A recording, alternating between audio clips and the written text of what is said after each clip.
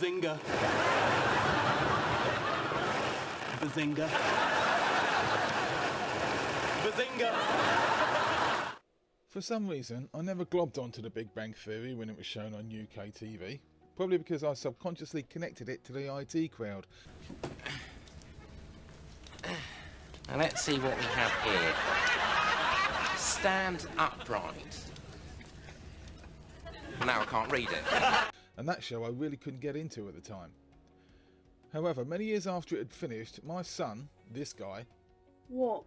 developed a habit of watching clips from the show on his tablet at high volume and they piqued my interest. I know it's not everyone's cup of tea, but at least he wasn't watching clips of grown men screaming into their microphones while playing Minecraft.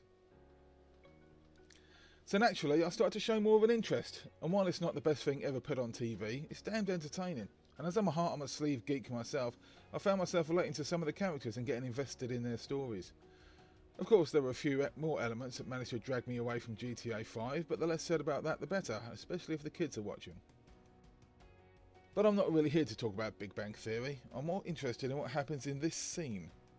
Amy ruined Raiders of the Lost Ark for me. So now I'm trying to find something beloved to her and ruin that. How can how can anyone ruin Raiders? It's perfect. Yeah, except for the fact that Indiana Jones is completely irrelevant to the story. Yet with or without him, the Nazis find the Ark, open it, and die. Now, this isn't really a new idea. I seem to recall having a conversation along these lines with some like minded chums after Simon Pegg mentioned this little quirk in an episode of Spaced.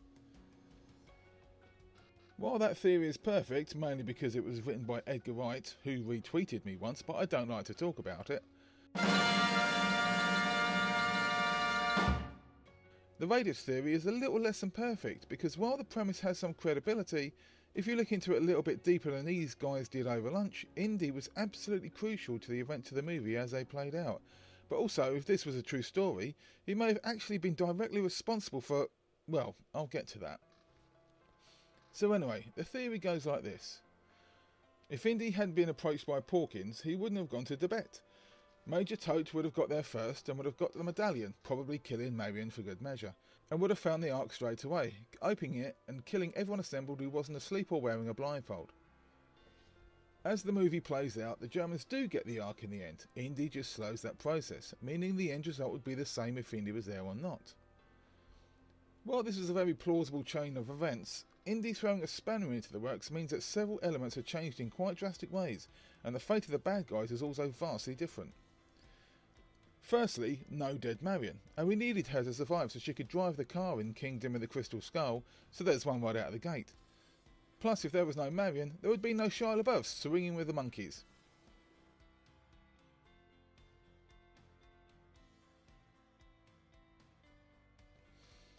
The difference is what happens to the Ark after it's lifted out of the Well of Souls, and it all hinges around the fate of this BV-38 flying wing. Dietrich is very nervous around the Ark and wants to get the hell out of Dodge as soon as possible. The plan is to load the Ark onto the plane and fly it directly to Berlin. We're gonna fly it out of here. Unfortunately, Marion gets locked into the rear gunner's pod, and while Indy's getting into fisticuffs with Pat Roach, she fires a machine gun, murdering several people and making the fuel truck get all kablooey. After Pat's got squished by the propeller and Indy manages to free Marion, the plane also gets exploded. It's because of this that the Ark is loaded onto the truck instead of the plane. Dietrich mentions that they'll take it to Cairo and load it onto another plane there, so the plan all along was to fly it out of Egypt.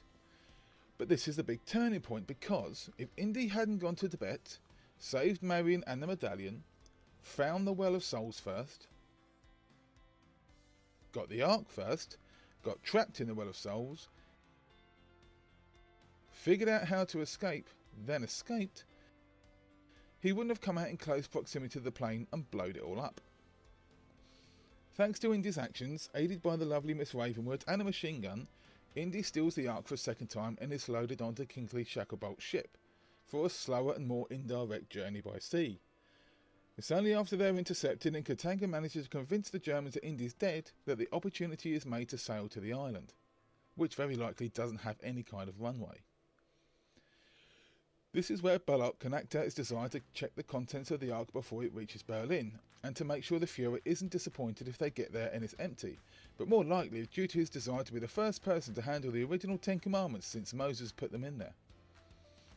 As a side note, UK TV used to have a habit of showing this final scene unedited in the late afternoon.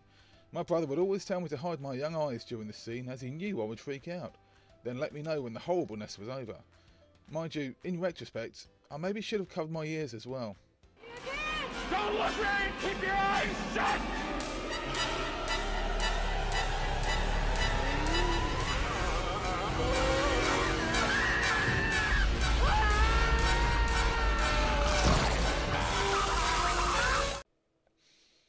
Yeah, I think that may have been worse, but at least I turned out okay. So in fact, because of Indy's actions, the Ark wasn't flown directly to Berlin, where it's entirely possible that opening it somewhere like this might have actually stopped that whole messy world war before it started. Yeah, thanks Indy.